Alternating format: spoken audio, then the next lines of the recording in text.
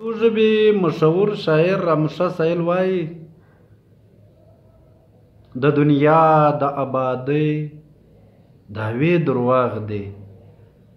د دنیا د آبادۍ دعوې دروغ دی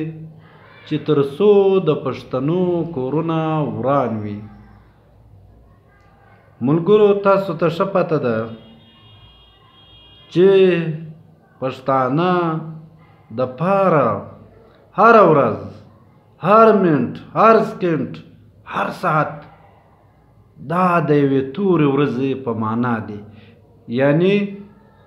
ته نور هېڅ ته پرېږدم په دې اګست کې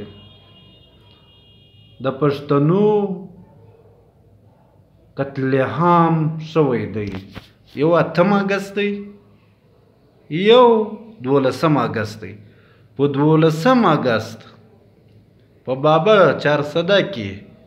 د خدایي خدمتګارانو جلسه ده په هغه باندې فایرنګونه کیږي په هغه کې درې نیم سوه څلور سوه ته نږدې کسان وژل کیږي بیا دا پوځیان دا ورځي ورته یایي هغه ښځې ته، ښځې ته وايي چې ستا د خاوند په وجود کې زما دومره ګولۍ ولګېدې، اوس دومره روپۍ راکه. شرم، شرم، پښتانه به تر څو په بد حال کې وي؟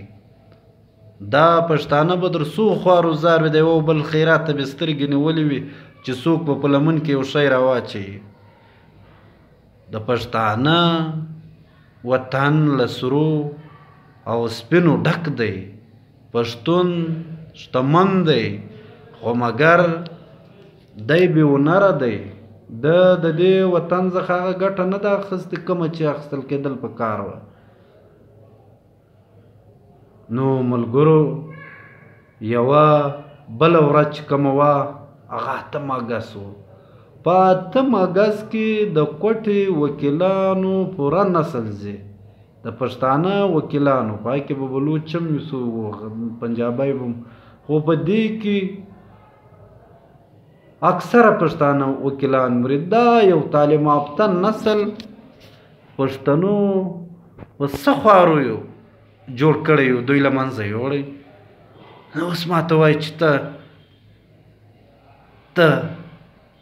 ته ولې دا کوې ته ولې نارې وایې هلکه زه په بد حال کې یم زما کور وران دی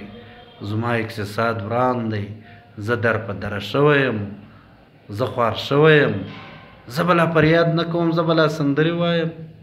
ته به زما خوله لا راتړې داسې نشي کېدای.